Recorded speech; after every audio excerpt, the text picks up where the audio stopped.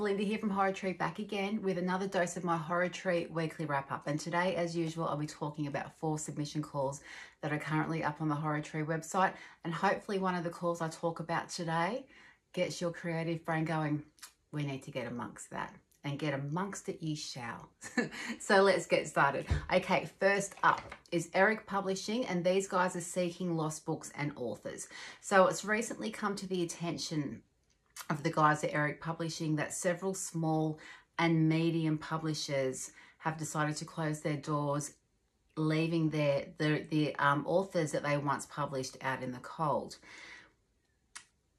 They want to try and support you guys. They want to try and support you lost authors if they can. So I strongly suggest, and they strongly suggest as well, that you jump on their website, jump on the Horror Tree website, check out the submission call, jump on their website as well to make sure you have the full details of exactly what they are looking for because these are their words, not mine. Please do not send them a query without having read all of their guidelines as this makes them grumpy and unlikely to respond in a favourable manner get on the website and get all the information you need. And if you do have a book that you've recently lost a publisher for, I really do hope these guys can help you out. Okay, next up is Beagle North and their Halloween competition. So they want your spookiest horror short stories. Anything goes from your classic ghost stories to vampires, werewolves, or to something a little stranger. This means the overall genre can be non-horror, but there must be something in there that is spooky and gives them a scare. It can be a monster story. It can be a killer on the loose, someone or something unnatural or somewhere haunted. It's up to you. If it keeps people up at night, it counts. Okay, they're up after short stories of up to two and a half thousand words. Now, the prize payment, prize payment for this competition is first place, 20 pounds. Second place, 10 pounds. Third place, 10 pounds and the top 15 to 20 stories will be published in their Halloween anthology coming in October 2023.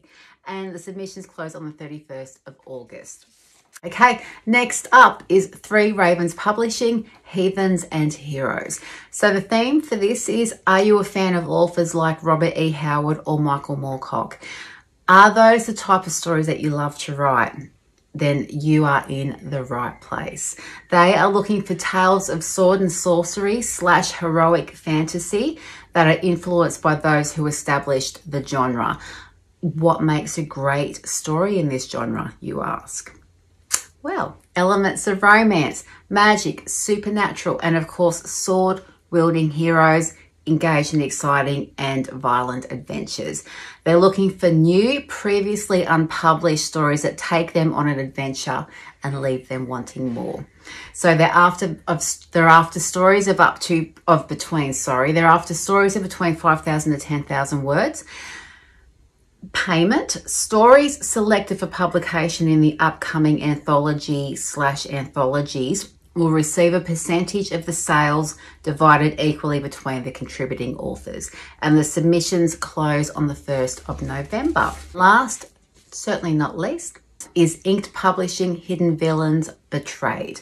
So the theme for this is Hidden Villains Betrayed, and they are after bold, imaginative fantasy, horror, and science fiction sculpted to thrill and entertain readers with a bizarre or delve into the shadows finish it off with a twist of betrayal. There is no restriction as to how you incorporate the theme into your story as long as you as long as the genre falls within the speculative fiction including science fiction or fantasy. Thereafter stories are between 2000 to 8000 words, one submission per author, no reprints, no simultaneous submissions and no AI. No AI. Um, payment is zero two cents per word plus a royalty share from all Draft2Digital sales. A paperback author's copy will be provided for US authors. Authors outside of the US will receive at least a digital copy depending on shipping costs on a case by case basis. So the submissions for this open on the 1st of June and close on the 31st of August. And that's it, guys. Another fantastic week, a fantastic submission course by fantastic publishers. So hopefully there's something there that has grabbed you and you want to get creating and get submitting. So if you are going to submit to any of these submission calls, all the very best of luck to you as always. And all the information you need, as always, is up on the Horror Tree website. Get on there, check it out. It has everything you need. Do it, you won't regret it. And as always, if you are watching these videos, we thank you so much. We really do appreciate it.